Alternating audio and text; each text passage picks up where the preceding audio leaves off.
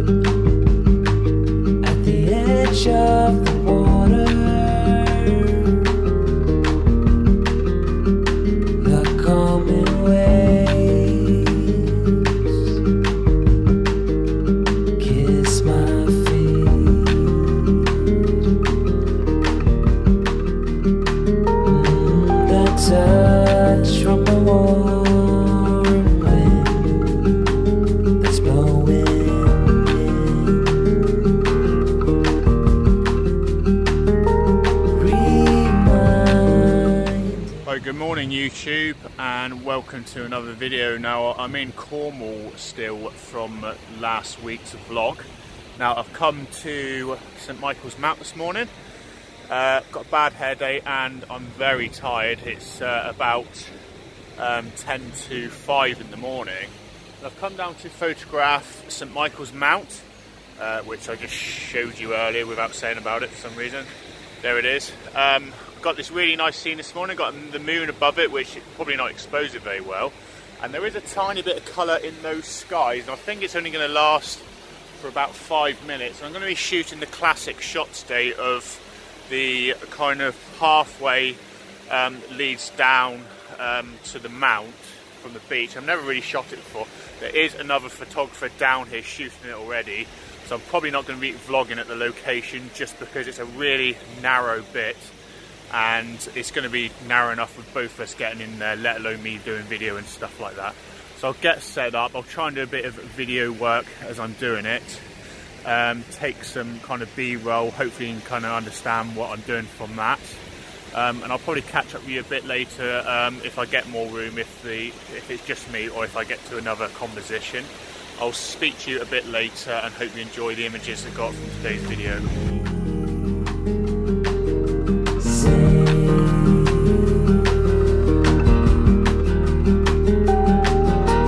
I don't know for how long I can carry Right, I went down to that um, location down there, and um, the guy was right in the middle of the walkway, and he had his tripod so wide.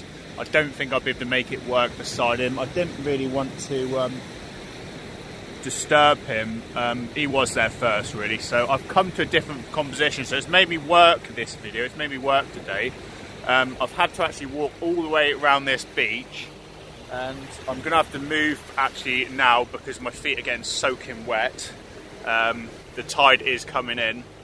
I've not come um, suited to locations that I've got to be in the water. Um, so I'll move back a bit I'll continue this in a minute. Right, I've moved back now, I'm slightly better. I've got wet feet, so I don't really care now, whatever happens with the water getting on my feet. But the bag, the camera bag, was starting to get um, a bit kind of risky of getting wet. Just going to move the strap because that's dangling in the water. Um, yeah, so I've had to do a bit of work in this morning and I've had to rush to this other composition, which has meant I've had to walk all the way from around that corner all the way along this beach, scramble over some rocks. It doesn't look too far on the camera, but it's taken me about 15 minutes uh, to 20 minutes to get here. All along the way, I didn't really like anything I found. I wouldn't say this is the prettiest part of Cornwall coast-wise. There's a lot of kind of grey, seaweedy coloured, not very nice rocks, but coming right to the end of this beach here, um, there's actually some really nice rocks, and when it was lower tide, I was getting some nice, smooth, kind of lake type water in these bits around it. Um, I'm just firing off some shots now while I'm talking because we are starting to get a bit of colour in this band um, of the cloud here. Um, unfortunately, I have had to come around away from the moon, um, which you should be able to see up here. Um, just there, which means unfortunately it's not lining up with the mount anymore. So I will be going back over there a bit later and seeing whether the other photographer has disappeared. But for the minute, I'm going to be sticking at this composition um, and I'm going to be doing slightly panoramic images to try and get something that uh, I like without getting drowned by the tide. Now, really cool composition. I have seen shots to be fair in the past from from this location, and I do like them, um, but I didn't really know how far you had to come around to get here. I'm glad I found it. I do like it. We do have a bit of colour starting to kick off in the clouds to the left of it as well now, just this big cloud here. So I'm going to continue shooting, get some shots, and I'll catch up with you um, in a few minutes' time. Hopefully, get something I like. Try a few different zooms. Probably going to be sticking with the 16 to 35 mil. Sorry, this one's a bit of a rush. I'm against the tide and obviously the colours in the sky. I'll catch up with you in a couple of minutes and see how we got on.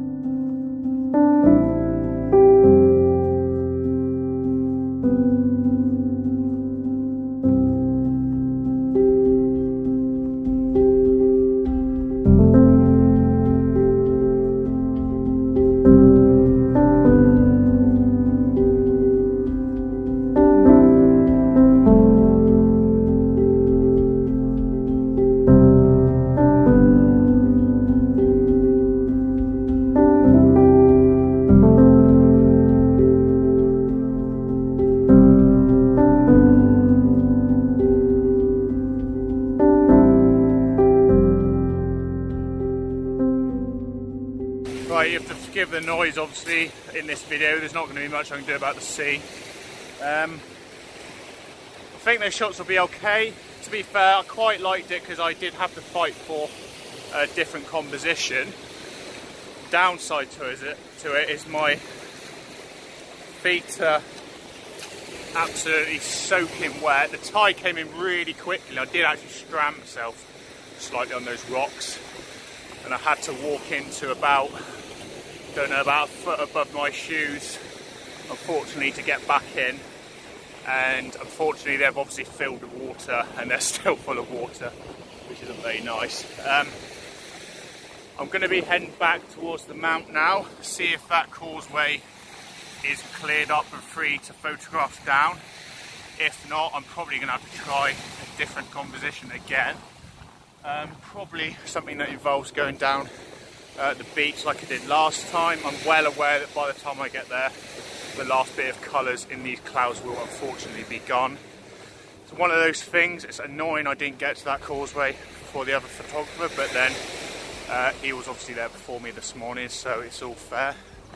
Um, yeah, so I'm going to head down there now, try and find somewhere else. Um, the shots I was doing back there, which you would have seen already, were pretty much just um, long exposures, trying to get as long capture as I could, shooting it all the way up to f18, um, occasionally f20, and using just a polarizer and a soft, uh, sorry, a hard grad, a 0.9 the soft grad, hard grad, um, simply because it's so kind of horizontal that picture and even though that hard grad is going to darken the mount uh, because it's the only thing above the horizon, it will um, make the colours um, and the golden light that was hitting it from the sun come out a bit better exposed. So it's going to come out quite nice, those images, I think. Um, shooting, like I say, an ISO of 50 just to get as long shutter speed as I could. And I was getting somewhere around about two and a half seconds to four seconds, and I was doing long exposure panoramic images just to try and get a bit of a sweep in there. Mainly portrait and uh, a bit of landscape as well in there just to add a bit of extra to it. Um, going to continue walking down the beach now, probably got another 10 15 minutes before I get to a point I'm potentially happy with. If I find something else, I'll catch up with you there in a minute.